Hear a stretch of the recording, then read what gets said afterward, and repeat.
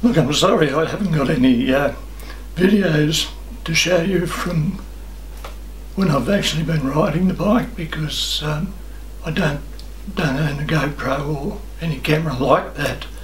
So I thought I'd just tell you about two little, uh, one really nice incident and one really potentially dangerous incident that occurred on the same road just uh, just outside town here, a few k's outside town. It's, uh, it's a road I ride on a fair bit because um, there's a few little hills and a um, bit of shade if it's you know, warm.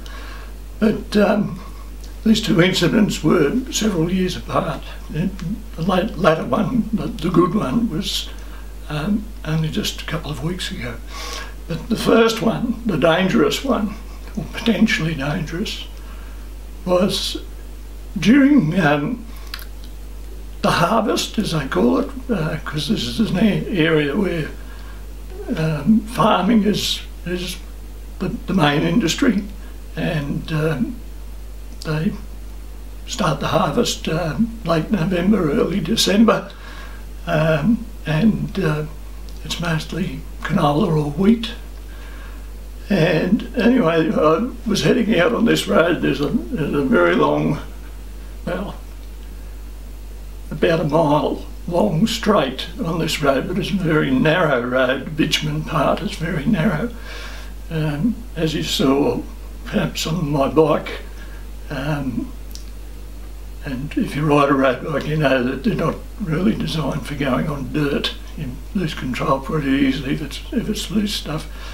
So um, this particular time, um, I was heading out along this flat, well, reasonably flat straight, and uh, um, a big um, truck that was being used in the harvest. Um, um, I don't think it was a B double. I think it was just a, an ordinary semi trailer.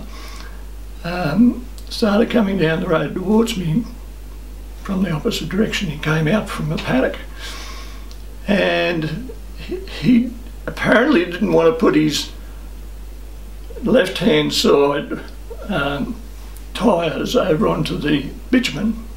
I'm indicating with my right arm because I was heading towards him, so it was on my right.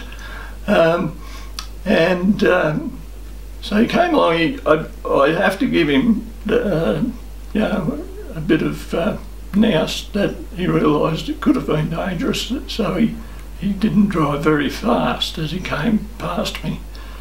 But I'm quite tall, I sit fairly high on the bike. I was right over to the left of the bitumen.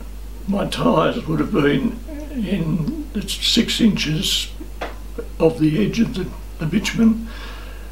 And, you know, semi-trailers have these really large rear vision mirrors that hang out from the cabin. I had to actually bodily move move the top half of my body so that the driver's side mirror wouldn't collect me. That's how close I was to him, and, and then the rest of the, the rest of my ride along beside him, I reckon my right arm was probably within six inches of the side of his truck all that way. And if it hadn't been that I used to race on uh, velodromes, um, I reckon I could have could have been in, in trouble. The, the beside the bitumen was just it was just you know grass and dirt and rubble. And If I'd tried to get off the road, um, it, you know, I would have come off for sure. I don't the idea of coming off, so I took my chances and got through to the other end, end unscathed. Um, anyway, so that that was that one, and that was daylight. Uh, the other one, as I said just a couple of weeks ago, um, I was heading out. This is uh, early morning, very dark before sunrise. I'm, I'm usually out now because of because of being hot here during the day, I'm out at uh, you know 5.15, 5.20 in the morning. I don't go very far, mind. But anyway, I was riding along this same road and no big trucks in sight, fortunately. And all of a sudden I could hear a little tick, tick, tick, and a familiar sound of a bike rider. It, it had the sound of a pebble, a little pebble being caught in the tyre, the tread of the tyre. Mind you, there's not, not much tread on those tyres, but it is possible. So as you do, you reach down with your mitt in your hand and you wipe the front tyre. No, it's still making the noise. Reached around the back, did the same there. No, still making the noise.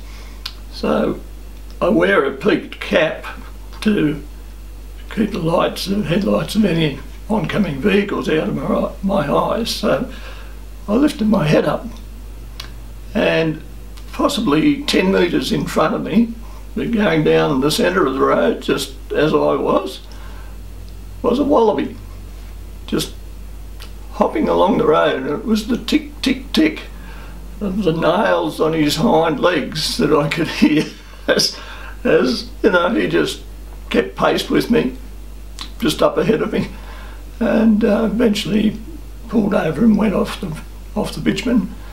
Um, but it was a really lovely experience. Um, I really wish I'd had a, a GoPro then and one that worked in the dark. But as they say, c'est la vie.